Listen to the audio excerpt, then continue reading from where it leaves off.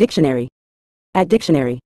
In a general sense, the expression, have words refers to engaging in a conversation or discussion, typically characterized by disagreement, conflict, or the exchange of strong opinions. When individuals have words, it suggests a verbal exchange that may involve heated or confrontational communication. This phrase implies a more intense and direct form of conversation, often indicating a disagreement or the need to address a conflict. The term is versatile, encompassing a range of interactions from spirited debates to arguments, depending on the context in which it is used. It underscores the verbal nature of the communication and the potential for strong sentiments or differing viewpoints during the exchange.